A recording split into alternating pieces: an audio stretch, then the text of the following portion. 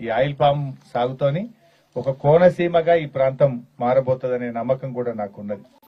ఎందుకంటే ఇలా ఖమ్మం జిల్లా పోతే ఉమ్మడి ఖమ్మం జిల్లా ఒక కోనసీమని తలపిస్తుంది ఆయిల్ పామ్ తోటలు ఉన్నటువంటి ప్రాంతాల్లో. రేపు మన ప్రాంతం కూడా అట్లా తయారవుతుందనే నమ్మకం విశ్వాసం కూడా నాకు ఉన్నది ఈరోజు మన దేశంలో చూస్తే ఆయిల్ పాము పామాయిల్ ఇప్పటికీ నలభై శాతం మాత్రమే మన దేశంలో ఉత్పత్తి అవుతే అరవై శాతం విదేశాల నుంచి దిగుమతి చేసుకుంటా ఉన్నాం. అంటే ఇంకా చాలా డిమాండ్ ఉంది. మన దేశంలో జనాభా అవసరాలను చూసుకున్నప్పుడు మన దేశ అవసరాలకు అవసరమయ్యే పామాయిల్లో అరవై శాతం విదేశాల నుంచి దిగుమతి చేసుకుంటా ఉన్నాం. మన దేశంలో పండుతున్నది నలభై శాతమే. అంటే ఇంకా అరవై శాతం మనము ఇప్పుడు ఉన్నదానికంటే రెండున్నర రెట్లు అవకాశం మనకు ఉన్నది.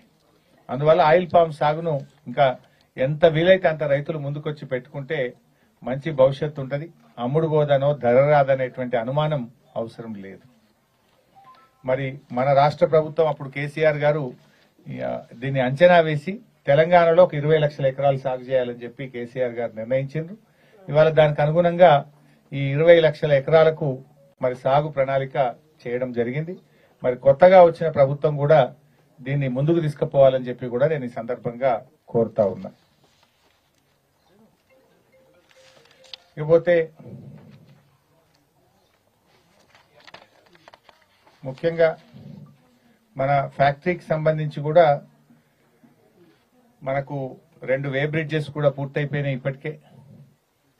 పది కోట్ల లీటర్ల ఫామ్ పాండ్ కూడా పూర్తయిపోయింది.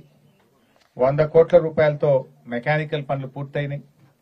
సబ్స్టేషన్ పనులు పూర్తయినాయి. సివిల్ వర్క్స్ చాలా ముమ్మరంగా జరుగుతూ ఉన్నాయి.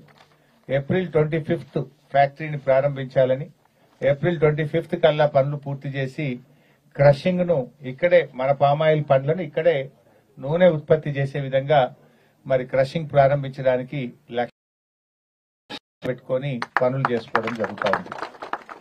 సో అది క్రషింగ్ స్టార్ట్ అయితే సిద్దిపేట ఒక హబ్ చుట్టూ ఒక ఎనిమిది జిల్లాల నుంచి పామాయిల్ ఫ్రూట్ ఈ సిద్దిపేటకు రావడం ఈ ప్రాంతం ఒక హబ్బుగా మారుతుంది. ఇది మొండి రకం చెట్టు ఈత చెట్లు తాటి చెట్ల లెక్క మొండి చెట్టు ఒకసారి అంటుకుంటే ఇక అది పోదు కదా ఈ వా- రాళ్ళ వాన పడితే బాధపడడు లేకపోతే గాలి దుమారానికి పడిపోవడు ఏ టెన్షన్ లేదు. ఈత చెట్టు తాటి చెట్లు ఎంత మొండిగా ఉంటాయో ఈ ఆయిల్ పామ్ మొక్కలు కూడా అంత మొండి రకమైనటువంటివి తప్పకుండా రెగ్యులర్గా దిగుబడి ఇచ్చేటువంటి మొక్కలు. సో అయితే ఈరోజు